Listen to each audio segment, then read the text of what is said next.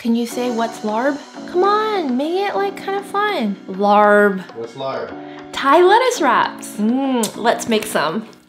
Okay, I'm gonna start by toasting up some sweet rice. Now this is totally optional, you don't have to do this, but I definitely think with the addition of the toasted rice, it adds nuttiness, depth, and a nice crunch. Here I have like a tablespoon and a half, two tablespoons of sweet rice. It's also called glutinous rice. And I'm just gonna toast it up until it's nice and golden brown. And I like to do this on like medium high heat just so it doesn't burn and scorch. But this really takes only like five minutes to do. So Thai lettuce wraps are really light and refreshing and it's perfect for a summer weeknight meal. And it comes together very quickly. I know it's not like a normal thing to eat toasted rice raw like this, but if you don't want to use this, you can always substitute for like toasted, crunched up almonds or cashews, that would be really good. So I was really inspired by this dish actually by watching Triple D, Guy Fieri on Food Network. He visited this place in Hawaii called Opal Thai in Haleiwa. And this year we were supposed to go to Hawaii, but then like so many things happened. And also I didn't feel like traveling with an infant and a toddler. Can you imagine six hour flight with those two. Ooh, it's getting nice and steamy. Just keep it moving, otherwise it can scorch pretty quickly. But anyways, watching that made me really, really crave that dish that he made, um, larb, or actually call it lob. It's starting to turn. It's kind of popping too. If you guys remember, um, I actually made something like this in a really old episode. I tried Chrissy Teigen's garlic fried ribs it was delicious. So you guys should check out that video. It was very yummy. And we also toasted rice too. So if you're wondering what else you can use toasted rice for, try it in that. It's in the dipping sauce. Okay, I'm gonna transfer it back into my ramekin just to let it cool down and then we'll revisit this later. All right, so we're gonna let it cool down and revisit it later when we mix everything up. In the meantime, I'm gonna go ahead and cook up my meat and it's really simple. Um, there's not too many ingredients. I'm not gonna flavor it as much just because we're gonna be dressing it up later. For this dish, typically ground pork is used, but I just felt like ground pork was a little too fatty and I usually like subbing ground pork for ground turkey. You can always use ground chicken too if you'd like. I have a pound here. Heat up the stove to medium high, drizzle it with a little bit of oil, and we still have the toasted rice like sediments in here, which is great because it'll actually help with adding extra flavor. Let it get nice and hot, and we're gonna add in three cloves of garlic. If you have shallots, that would be really yummy too. The pan is still super hot from the rice. Now we'll add our turkey. I'll just season it with a tiny bit of salt and pepper. Break it up. So having a toddler, I feel like ground meat is like her favorite. So we buy ground meat more than ever these days. I mean, before I used to buy it to make meatballs, I don't know what else, bolognese. But now I have to find ways to use ground meat because it seems to be like the only kind that she likes. Kid is so picky. okay, now I can turn my heat back up. If you notice, it's getting a little watery and that's totally fine too. It just adds to the whole dish later. Oh, and if you're wondering for the meat, I always use ground turkey thigh. I feel like turkey breast is always too dry, so is chicken. So you want a little bit of fat in there, but not as much fat as like ground pork. And that's pretty much it for our meat for now. We're gonna set it aside and let it cool while we prep the rest of our ingredients. So here at the Honeysuckle Farms, my herbs are quite thriving and I'm super excited because I have enough herbs and the correct herbs to make this dish. So I'm gonna get a little bit of Thai basil. Mmm, smells like pho. some mint, like just a handful, and then some green onions. I'm never really sure where to cut, like should it be down here, but it seems to grow, so I just cut off the leaves. So if you guys have the correct way or know the correct way to cut green onions, please, please let me know. I love the green onions because I haven't actually had to buy any. Just snip a little bit because I only use a little bit at a time anyways. And that's about it. That's all we need. All right, so the reason why I love this dish is because it's so fresh. There's so many veggies in here and I just feel really healthy eating it. I have my platter ready. We have some iceberg lettuce leaves. I usually like doing butter lettuce just because it holds it like a cup, but I couldn't find any at the store, so iceberg it is. Purple cabbage because it adds like a nice pop of color. We're gonna prep our veggies and set it on the side for now. I'm just gonna use maybe quarter of a cup, half a cup, half a cup. And usually the mandolin will do the job, which I usually like doing, but for the sake of filming, let's cut everything by hand. We're gonna set it over here. We're gonna set it over here. I love colorful foods. Okay, and then I have a carrot and just like Opal, I'm gonna use my spiralizer. So this is a spiralizer. I got it from Target. You can find it on Amazon too. Oh, this way.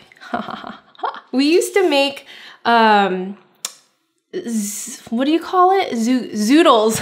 Ooh, see, you want like long strands like this. And how did I get that? Was it from this? Oh, there you go. Yes, I did it. Okay, so I feel like it's easier to hold it like this, like a pencil sharpener, so it doesn't fall down. Now I wish I did it from the beginning, but that's okay. We'll still get really nice strands. Have you guys ever been to Opal Thai? Let me know in the comment section below. Please be a long strand. Oh, it's a long strand. Curly hair. or an earring. Make it look all pretty. And now for the mix-ins for the actual meat. So earlier we went to Honeysuckle Farms and I got some green onions. I'm just gonna chop it up into little small pieces. So you probably need, I would say, a quarter of a cup. And then for the Thai basil, I only used a little bit just because the flavor, the flavor is pretty strong. I don't want it to overpower power the rest of the dish just because it needs to blend really well with like the mint. Same with the mint, I don't want the flavors to overpower there either. So I'm gonna use a tablespoon or two. And finally some cilantro for our herbs. Yeah, so I'm using about one to two tablespoons of each. Green onion seems to be a lot more here, but it's not, it's a mild herb, so there's not as much. And then finally, we're gonna chop up a purple onion, just little slices. I was telling Nate the other day, Thai food is one of those uh, cuisines that I really, really enjoy eating, but I never think to order it. Like when we're postmating dinner, it always automatically defaults to either Korean, pizza, or sometimes Vietnamese, not all the time, but I never think to order Thai.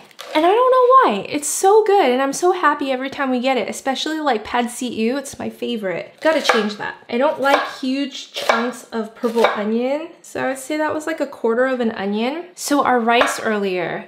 So I'm gonna add a tablespoon and we're gonna crush it into a powder. And like I said, this adds a nice crunch and it's gonna be varying um, sizes when you crush it like this but it adds a lot of depth and nuttiness. Speaking of crush, be sure to crush the like button and turn on the notification bell so you'll be notified when our video comes out. It's a workout. All right, so as you can see, I ground it into a powder, but there's still like some coarse pieces and it smells really good. It's very toasty. Now we're ready to mix our lop.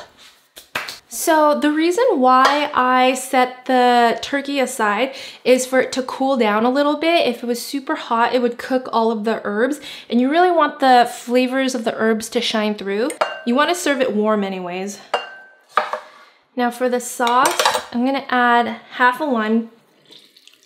I like it tangy and then you want half a tablespoon of fish sauce, so two teaspoons. I actually have this coconut sugar, coconut brown sugar, which has a very light sugary taste. You're supposed to use like palm sugar for this, which I don't know if this is the same thing. Two teaspoons. If you can't find the coconut sugar, definitely substitute for good old dark brown sugar. It's just as good. And then just a tiny bit of salt. Sometimes when you add too much fish sauce, it just doesn't taste right. One teaspoon of the rice powder. If you really like the flavor of the rice powder, you can always add a little bit more. I seem to like it just with one teaspoon.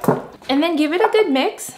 Mix, mix, mix. This is where I like to taste it and see if it has enough flavor. Mmm, oh yeah. It's tangy, it's balanced, it's nice and salty, not too salty.